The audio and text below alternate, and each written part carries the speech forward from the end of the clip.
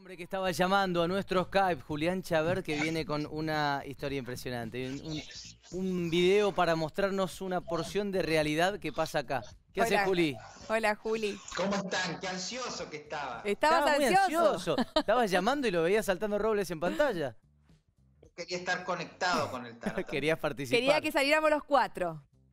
Siempre. No. Es una de mis fantasías, chicos. Hubieras, con- hubieras pedido y lo hacíamos y directamente te sumábamos. Bueno, ahora estamos los tres. En la imagen. Queremos que, que nos vengas a, a contar, anticipanos qué vamos a ver, qué vamos a compartir.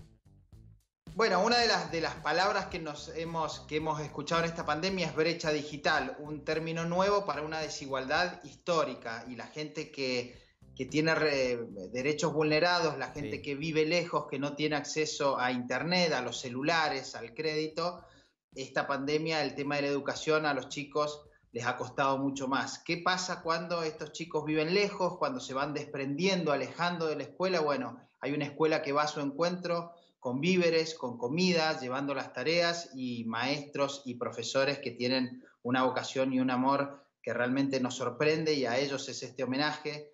Lo queríamos pasar ayer, que es el Día del Profesor, pues son profesoras de un colegio secundario. Y esto, ¿no? ¿Qué pasa cuando los alumnos no llegan a la escuela? ¿Cómo la escuela va a buscar a los alumnos? En, en un gesto de amor muy interesante.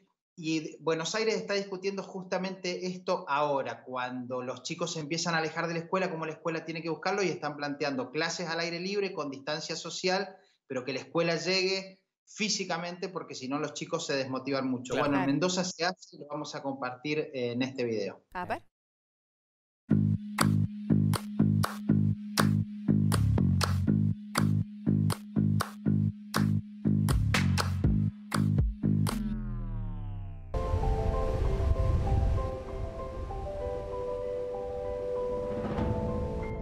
La escuela no es su nombre, ni sus bancos, ni sus paredes pintadas.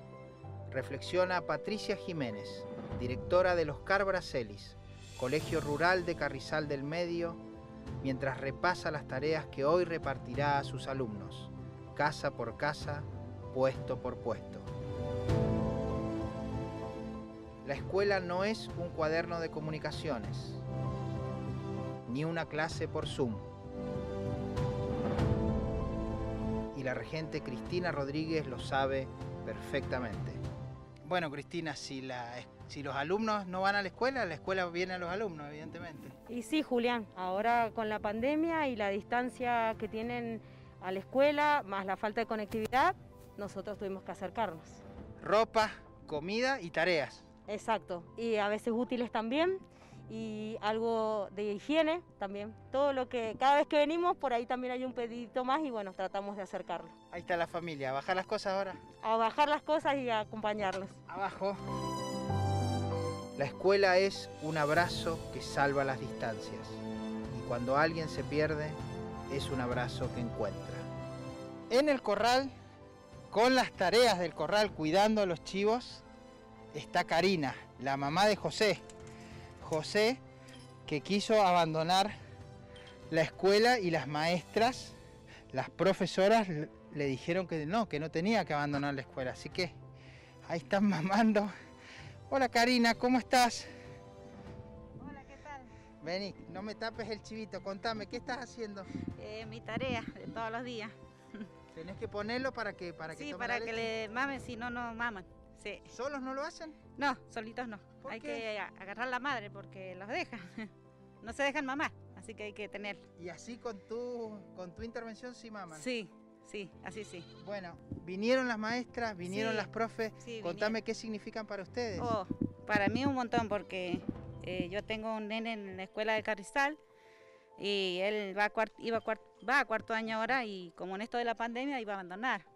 Quería, me decía ya está, no voy a ir más, no voy a ir más y No quería seguir la escuela. Y no, porque tampoco teníamos transporte y con el problema este, así que, pero gracias a Dios llegó una regente, Cristina, que me lo convenció de, que siguiera la escuela. A principio de año, cuando empezaron las clases, mi hijo tampoco empezó porque teníamos problemas de la calle y el transporte no podía entrar. Y bueno, vino esto de la pandemia y Cristina un día nos llegó acá sin saber ella dónde vivíamos y nos encontró y, y gracias a ella mi hijo empezó a la escuela otra vez y ahora ya está al día otra vez.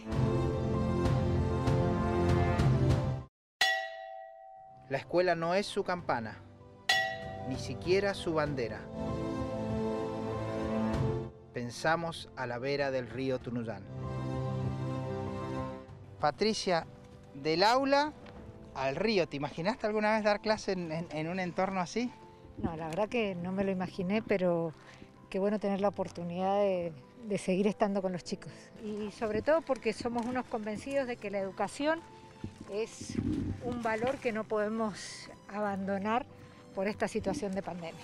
Una canción de Jorge Drexler dice, si hay amor, la distancia se salva. Y evidentemente lo que acá salva las distancias es el amor y la vocación de ustedes. Seguro. eh, y, y funcionar como, como una familia, ¿no? O sea, no, no nos dejamos solos por más que la pandemia pretenda eso, aislarlos.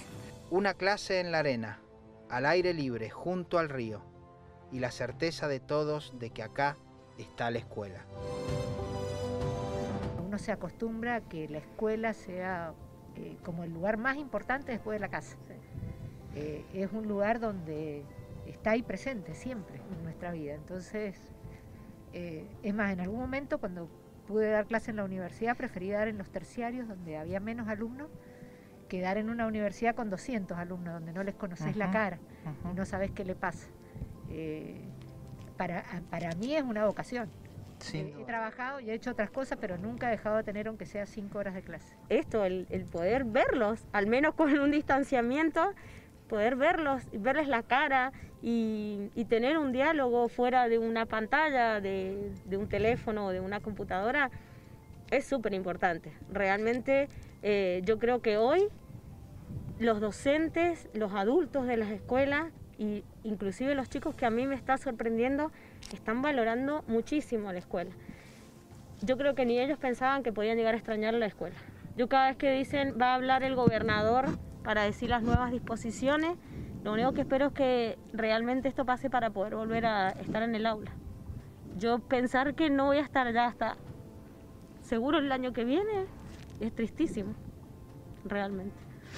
Te mata. Sí, sí, saber que no los voy a ver este- ya este año. Docentes que necesitan a sus alumnos y alumnos que necesitan a sus docentes. La escuela es el lazo que une su presente. La escuela es la huella que dejarán en el otro para siempre.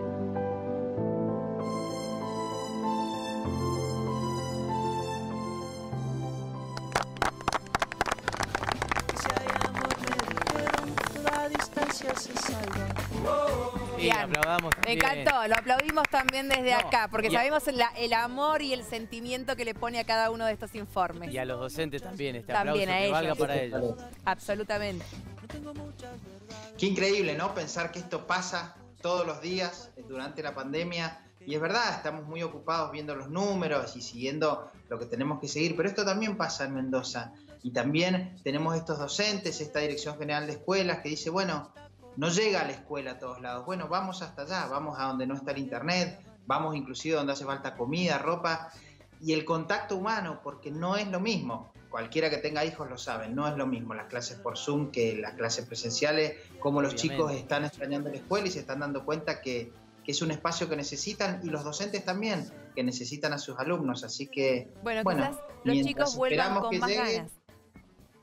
mientras esperamos que llegue este tipo de acciones que son maravillosas. Maravillosas, como el informe que acabamos de ver, Juli, te agradecemos. Eh, me quedo con la frase, la escuela es la huella que uno dejarán en los otros, docentes y los chicos. Absolutamente. Bellísimo eso, ¿eh? Un abrazo, Gracias. Muchas gracias, abrazo Juli. cuídate.